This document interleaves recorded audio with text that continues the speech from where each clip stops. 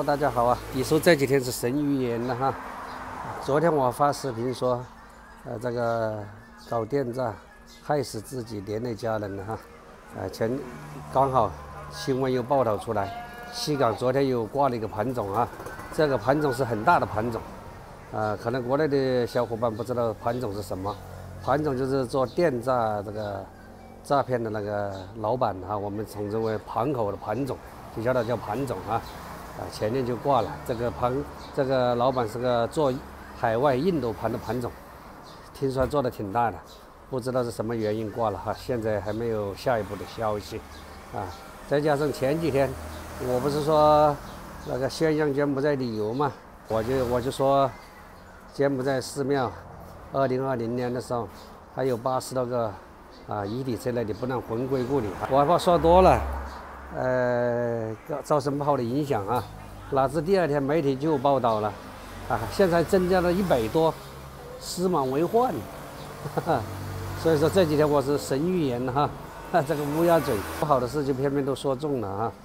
自从这个潜在这个电诈人员回国的视频一发出来哈，大家是口诛笔伐，异口同声呢，对这种呃搞电诈的人是深恶痛绝哈。谴责他的同时，呃，抵收谈谈我的看法。我觉得谴责那些盘总，呃，问题不大，没有错。但是那些电诈人员呢，哈，呃，有的时候还是有很多客观原因的。你说谈一下我个人的看法哈，可能很多人不认同我的说法。我就打一个比喻来说吧，就拿我们家里有个亲戚吧，哈，三十多岁了，在国内是一无所有哈。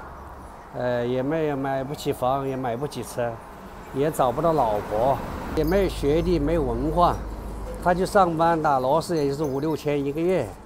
你说一个人吃吃用用，根本就剩不下钱。你就说这个几百万的房，你说怎么去买？啊，再加上我们江西那边找老婆，现在到了六十多万了，你说他这个人生怎么过了？是不是？呃，一旦他到海外，啊。遇到了这种机会的话，你说他能不干吗？是不是啊？所以说有些客观原因，大家我们还是要理解一下哈。虽然你们大家说做什么也不要去做那个，为什么搞电诈呢？这个是说的没错，但是人性都是都是贪婪的，对不对？谁都想多赚一点钱，是不是？呃，以前的《三字经》都说是“人之初，性本善”，为什么现在都改了呢？啊，因为人性天生它就是贪婪的。是因为受了法律、社会、道德各方面的约束，啊，他才不去做坏事，是不是？但是，一到了这个资源环境比较好的情况下，你说他能不去做坏事吗？是吧？所以我们有的时候也是换位思考，要理解一下，呃，有的人哈，有的普通的电诈人员呢哈，呃，虽然虽然做这个是不对的哈，但是很多环境呢。有时候还是要谅解谅解他们呢，我觉我是这样认为的哈。我个人觉得最需要需要的罪魁祸首，不在于他们，啊，在于盘总，啊，最最大的罪魁祸首在哪里呢？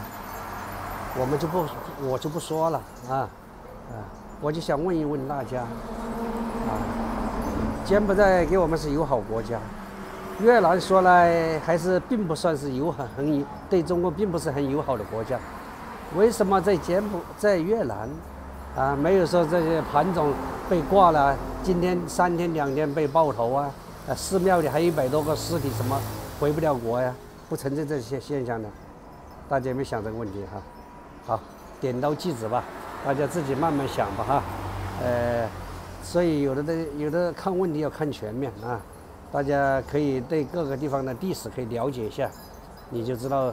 找深层次的原因出在哪里了啊？所以说谴责这些普通啊这个电诈犯的同时哈，还要应该谴责些什么东西？大家自己用脑想一想吧。好，今天李书记跟大家分享到这里。